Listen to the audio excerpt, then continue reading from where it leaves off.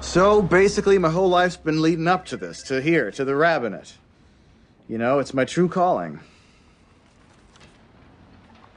And as far as the Hebrew goes, I'm a really quick study. Uh, I know all the Brukatas already. And uh, another word for jellyfish is meduzot.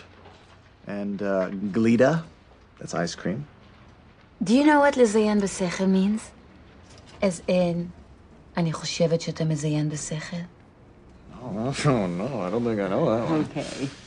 So this has been very amusing. I wish you all the best in your life, and now I'm done. Wait, what? I'm in? You talk a lot. That's a wonderful quality in a rabbi, no? And yet, you say nothing. Oh, oh! Israeli snap. That's okay, I can take it. Resiliency is another excellent rabbinic trait. Time for you to go. Okay?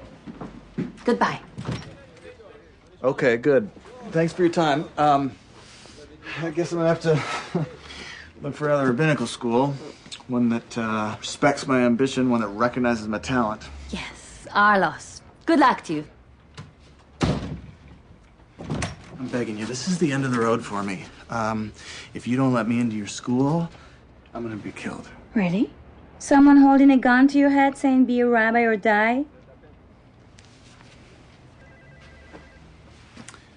Actually, yeah.